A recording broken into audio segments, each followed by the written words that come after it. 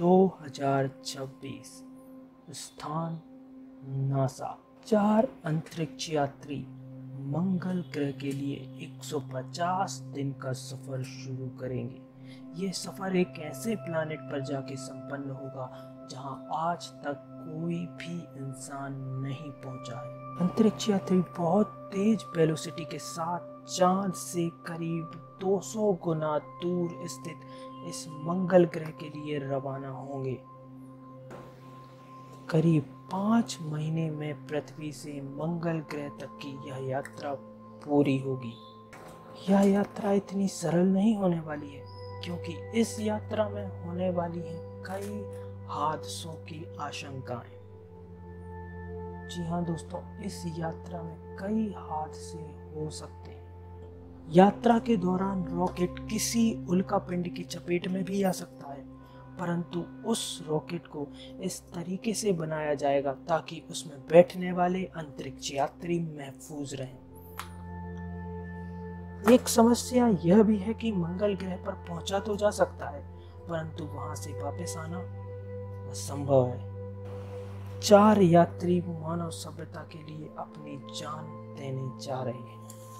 अब सवाल उठता है, आखिर ये वहाँ करने क्या जा रहे हैं? तो चार यात्री मंगल ग्रह पर बस्ती बसाने जा रहे हैं। वहाँ पता लगाने जा रहे हैं कि वहाँ का वातावरण कैसा है। वहाँ क्या सब्ज़ी उगाई जा सकती है? परंतु नासा की माने तो नासा ने बोला है कि वहाँ पहले रोबोट्स को भेजा जाएगा, ताकि वहाँ जाकर कुछ घर वगैरह बनाए जा सके, लाइफ सपोर्ट यूनिट बनाई जा सके, और फिर वहाँ उगाए जाने वाली सब्जियों को भेजा जाएगा। ताकि कुछ सब्ज़ी वहाँ उगाई जा सके। उसके बाद वहाँ इंसानों को भेजा जाएगा, जो वहाँ जाके एक नई ज़िंदगी की शुरुआत करेंगे। मंगल ग्रह पर सबसे बड़ी समस्या यह भी है कि वहाँ का वातावरण। जी हाँ दोस्तों, वहाँ का वातावरण दिन में 21 डिग्री सेल्सियस और रात में माइनस इकहत्तर डिग्री सेल्सियस तक होता है। और समय समय पर वहाँ पर धूल की आंधियाँ भी आती रहती हैं। वहाँ पर ऑक्सीजन भी कम है और वहाँ का जो रेडिएशन है वो बहुत ज़्यादा अधिक है, जो नासा के लिए सबसे बड़ी प्रॉब्लम मंगल पर कुछ चीज़ें हैं जिनसे यात्रियों के लिए कुछ उम्मीदें भी हैं। जैसे कि वहाँ का गुरुत्वाकर्षण। जी हाँ दोस्तों, वहाँ का जो गुरुत्वाकर्षण है वो पृथ्वी का 38 प्रतिशत है। साथ ही वहाँ पर सब्ज़ियाँ भी उगाई जा सकती हैं। परंतु मंगल ग्रह को पृथ्वी की तरह बनाना होगा। मतलब मंगल ग्रह को टेराफॉर्म करना होगा। तो आखिर ये टेराफॉर्म होगा कैसे? इसके लिए बहुत सारी रिसर्च चल रही है। परंतु एक साइंटिस्ट की माने तो उसका मानना है कि अगर ध्रुवों पर जमी बर्फ़ को पिघला दिया जाए, तब मंगल ग्रह को टेराफॉर्म किया जा सकता है।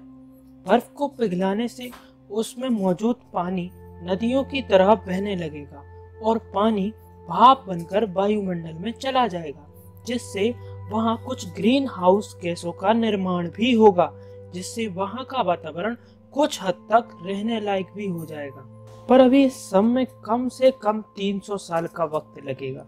अब यहाँ पे होते हैं कुछ सवाल खड़े। क्या हम मंगल ग्रह को पूरी तरह से टेराफॉर्म कर पाएँगे? और अगर हाँ तो क्यों? आखिर मंगल पर ऐसा क्या है जो हमें बार बार जाने को मजबूर कर रहा है? हमारे चैनल को सब्सक्राइब करें। हम अपने आने वाले वीडियोस में ज़रूर बताएँगे। Thank you.